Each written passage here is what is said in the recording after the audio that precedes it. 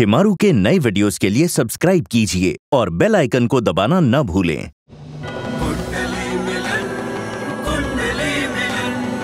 फूट फूट की शादी से हमारे और हमारी बहन के रिश्ते पर फ़र्क पड़ता है। तो गोपाल की कसम, हम कभी वहाँ नहीं जाएँगे। थप्पड़ तुझे इसलिए याद रखना है, तू यश को नहीं छुएगी।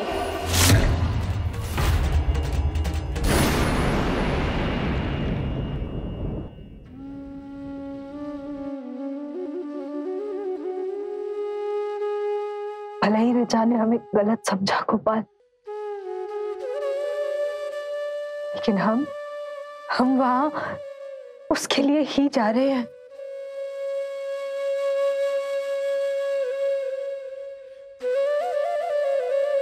और आप इस बात के साक्षी रहेंगे। जब तक हमारी मांग में सिंदूर है ना, हम इस सिंदूर का मान रखेंगे। सही रोमांटिक दामाद ढूंढा है हमारी रिचा ने। देखा चाचू अगर मैं नहीं होती तो आप लोगों को कितनी मेहनत करनी पड़ती? इसी बात पर एक थैंक यू तो बनता है। अब तो नब्बे दिन पूरे होने में कुछ ही दिन बचे हैं। अभी से तुम दोनों की शादी की तैयारी भी शुरू करनी है। हाँ। अच्छा किया यश कि पग फेरे के बाद तुम खुद अंजलि को देने आ गए। चाहे यश ने मुझे मनाने के लिए इतना कुछ किया, लेकिन वो यहाँ आया तो अंजलि को ही लेने।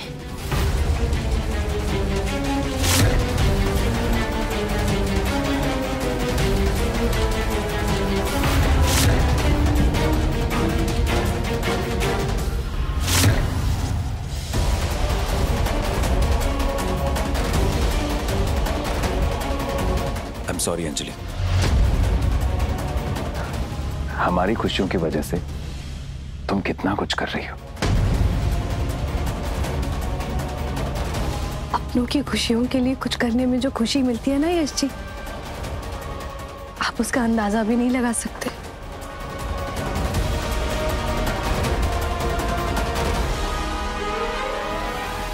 लेकिन जब किसी भी वजह से हमारे अपने दुखी होते हैं ना तो बहुत चोट पहुँचती है।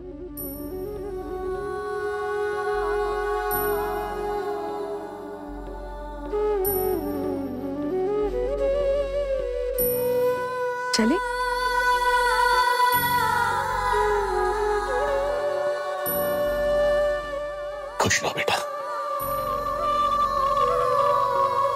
बस बस ठीक है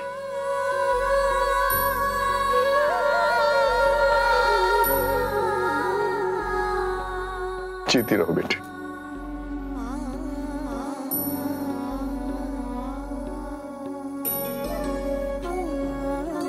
बस बस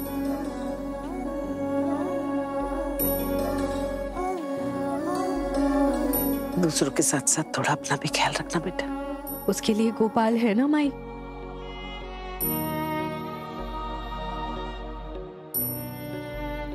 अंजलि। हम ले लेंगे।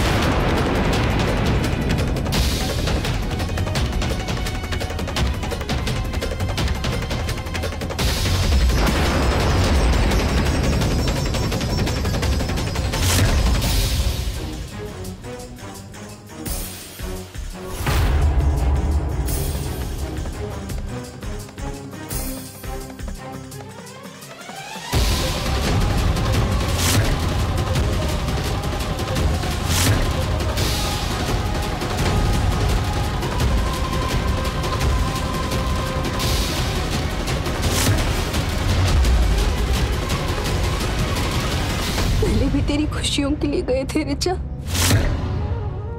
और आज भी तेरी ही खुशियों के लिए जा रहे हैं। बस, जब पहले गए थे तो मन पर कोई बोझ नहीं था। लेकिन इस बार इस बार तेरे थप्पड़ का बोझ लेके जा रहे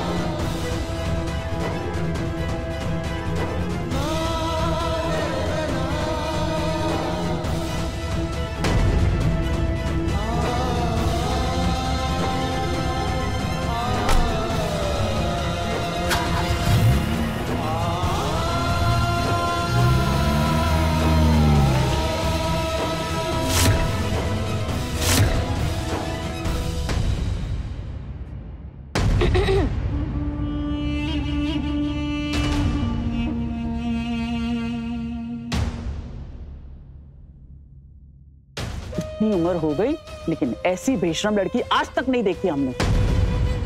देखो यश से अपना सामान उठवा रही है। जैसे नब्बे दिन के लिए नहीं नब्बे जन्म के लिए यश की पत्नी बन गई है।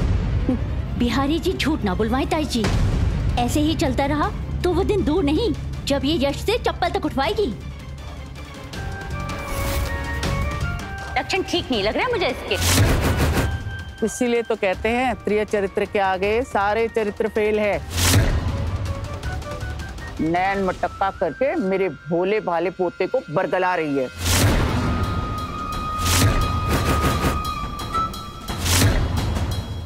धीरे धीरे इसकी नियत में भी खोट आ रहा है।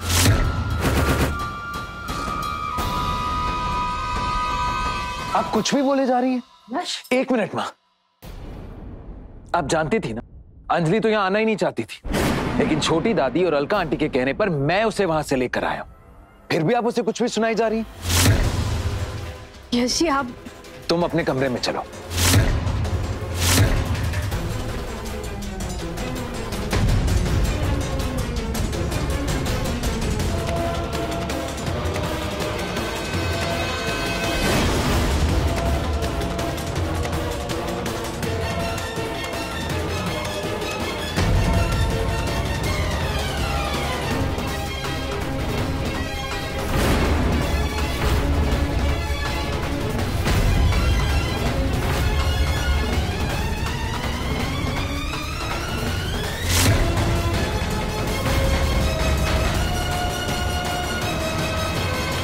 ओहो हाथ पकड़ के तेरा बेटा उस नौकरानी को कमरे तक छोड़ने जा रहा है। रोक ले उमा। हाथ से निकल गया ना तो पछताती रह जाएगी। बिहारी जी झूठ ना बुलवाए। ये तो कुछ नया ही नज़ारा देखने को मिल रहा है।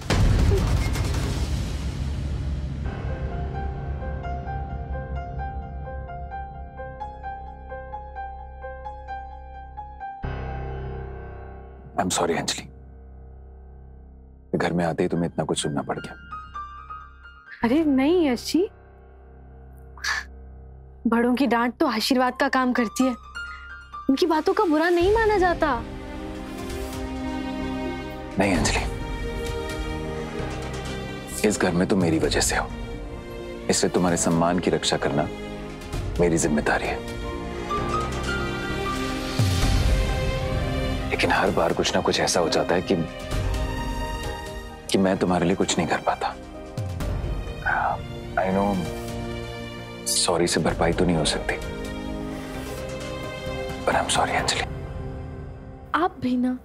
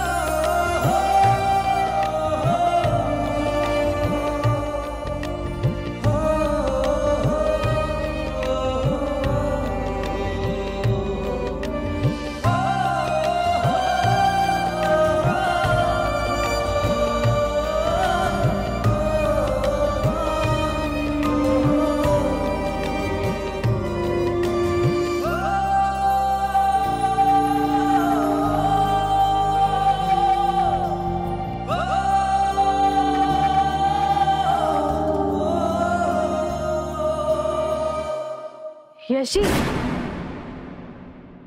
पल्लू कहाँ है? पल्लू के घर वाले आए थे। वो उसे अपने साथ ले गए। अब तुम थोड़ा आराम कर। लो किसी ने जानबूझ के तुझे चोट पहुंचाई?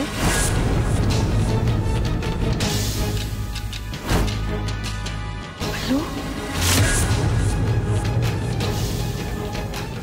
हे गोपाल पल्लू का ध्यान रखना। उसे बुरी नज़र से बचा लेना।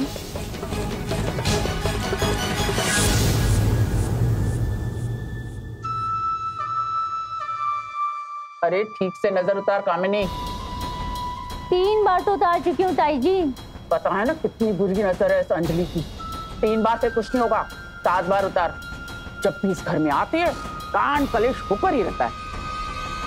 बिहारी जी झूठ ना बुलवाए। ये बात आपने सौ टके की कही ताई जी। पता नहीं कौन सा जादू टोना कर रखा है कि यश उस दो टके की लड़की के हाँ में हाँ मिलाने लगता है। बात तो ऐसे करती है जैसे जबान में मिश्री घुली हो। आदमी का तो शुगर ही बढ़ जाए उसकी लल्लो चप्पो सुनकर। हाय हाय मुझे नहीं बढ़वाना अपना शुगर। मैं अपनी भी नज़र उतार लेती हूँ।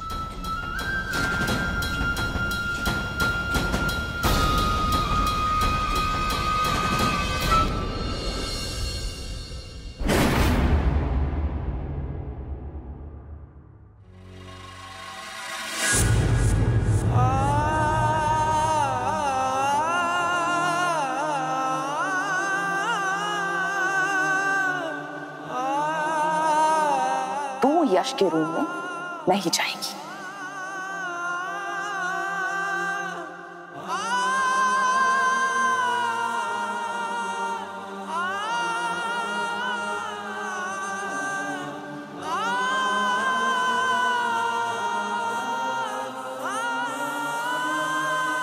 यश जी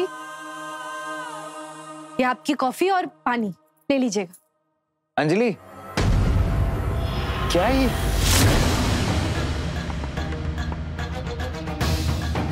ये आपकी कॉफ़ी और पानी। कुछ खाने के लिए भी ले आए क्या? वो तो मुझे भी दिख रहा है लेकिन वहाँ क्यों रखा है? यहाँ अंदर आके टेबल पे रख दो ना मैं काम कर रहा हूँ अंजलि। नहीं नहीं। हम अंदर नहीं आ सकते। क्यों? आज ऐसा क्या हुआ है कि तुम अंदर नहीं आ सकती? क्योंकि ये हमारी लक्ष्मण रेखा है। जो हमने अपने लिए बनाई है। अंजलि अंजलि तुम क्या दिन भर कुछ भी आलतू फालतू बातें सोचती रहती हो? अब ये लक्ष्मण रेखा का आइडिया कहाँ से आया तुम्हारे दिमाग लो। उल्टा चोर कोतवाल को डांटे। व्हाट आप ही तो हमसे कहते हो कि हम आपके कमरे में आके सारी चीज़ें यहाँ वहाँ रख देते हैं फिर आपको ढूँढने से भी नहीं मिलती और खामखा परेशानी होती है। इसलिए आज से बल्कि अभी से ये हमारी लक्ष्मण रेखा है और हम इसे पार नहीं करेंगे। आपकी सारी चीज़ें ऐसे ही कमरे के बाहर रख के चले जाए करेंगे दरवाजे पे? मतलब कि आज से रूम सर्विस बंद और सेल्फ सर्विस शुरू। समझे? अंजलि तुम लीजिए। बातों बातों में कॉफ़ी ठंडी हो गई आपकी। रुकिए हम गरम करके लाते हैं।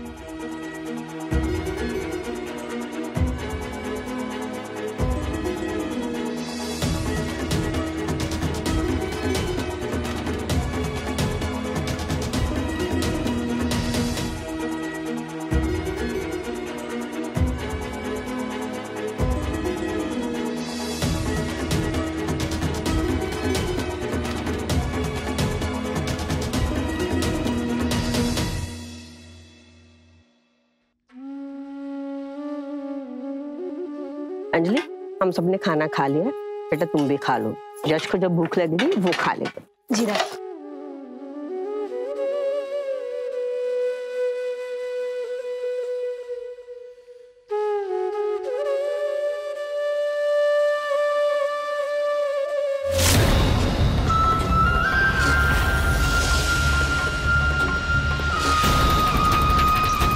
चल मेरे साथ।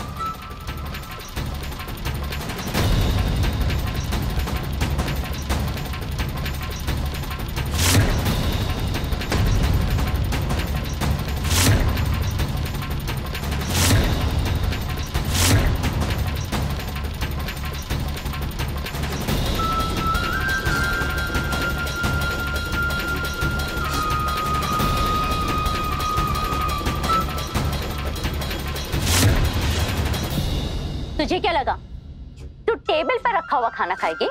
हाँ? तो फिर कल के इस बासी खाने का क्या होगा? चुपचाप ये बासी खाना खत्म कर। और हाँ याद रखना, पीतल की प्लेट घर वालों के लिए नौकरों के लिए ये स्टील के बर्तन है। खाना खत्म हो जाए तो मांज कर इसे अलग रख लेना। अब जा, अपनी पोट्री में बैठकर खाना खा ले। जा।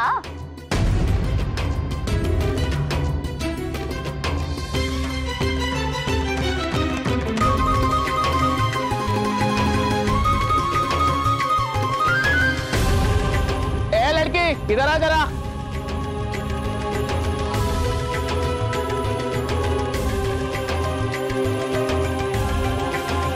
रख इधर पहले जाकर हमारे बिस्तर की चद्दर और तकिए का कवर बदल दे। उसके बाद आराम से खाना खा लियो। जी बड़ी दादी। रुक जाओ अंजलि। बड़ी दादी। खाना खाने के बाद अगर अंजलि आपके कमरे की चादर बदल दे तो कोई दिक्कत है क्या? यश कैसे बात कर रहा है तू मुझसे? ये लड़की जब भी तेरे आसपास होती है तू तो अपनी तमीज ही भूल जाता है। यश तुझे तो पता ही है ना?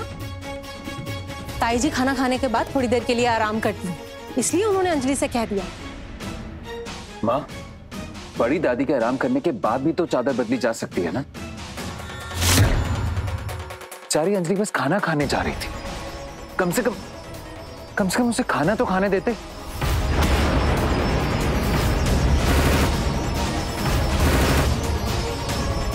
अरे, यश जी, देर नहीं लगेगी। हम बस पाँच मिनट में चादर बदल देंगे।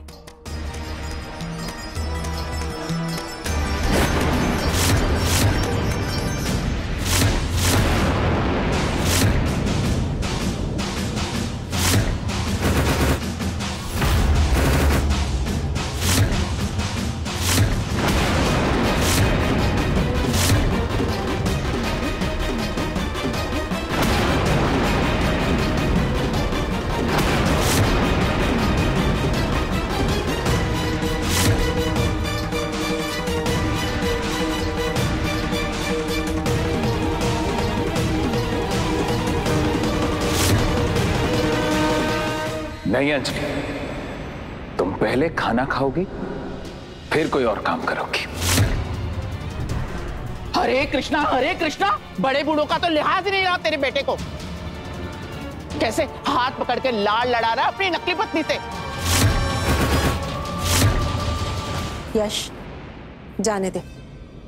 पाँच मिनट का काम है उसके बाद अंजलि आराम से बैठकर खाना खा ली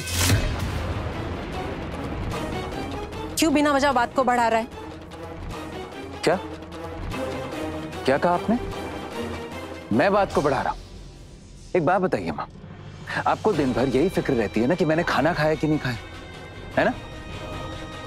अंजलि ने सुबह से कुछ नहीं खाया लेकिन यहाँ पर किसी को उसकी परवाह ही नहीं।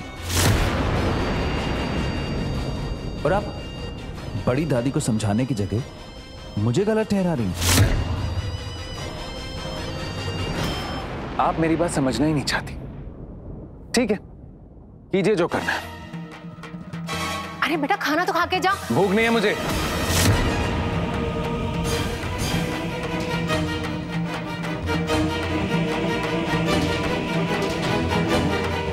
अरे कहाँ चली महारानी? सुना नहीं तेरा नकली पति बोलकर गया तुझे पहले खाना खिलाना है। और खा खा। कितना ठूसना है। खा, और खा खा।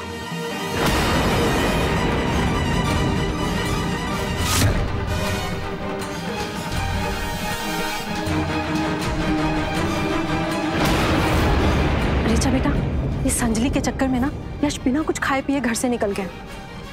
तो उससे बात कर और उसके साथ जाकर कहीं उसे कुछ खिला दे वरना वो दिन भर भूखा रह जाएगा। पिला पिला पानी को। पिला पिला पानी पी ले पानी भी पी ले। और पानी पिला। हो गया पानी पी के। अब तो हो गई तेरी पेट पूजा। चल लग जा काम पर।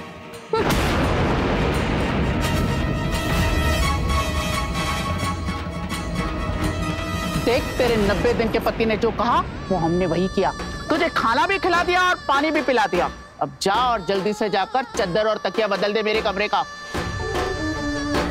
पता है ना, दोपहर का खाना खाने के बाद अगर मैं आराम न करूँ तो चिड़चिड़ी हो जाती हूँ।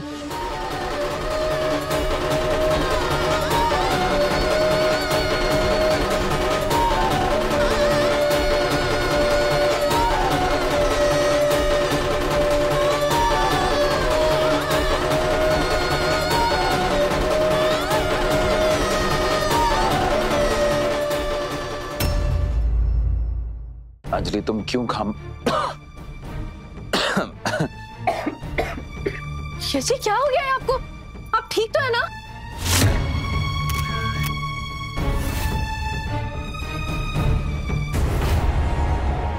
कहा था ना मैंने तुझे कि यश के कमरे में मत जाना? कहा था ना मैंने तुझे? ये क्या है?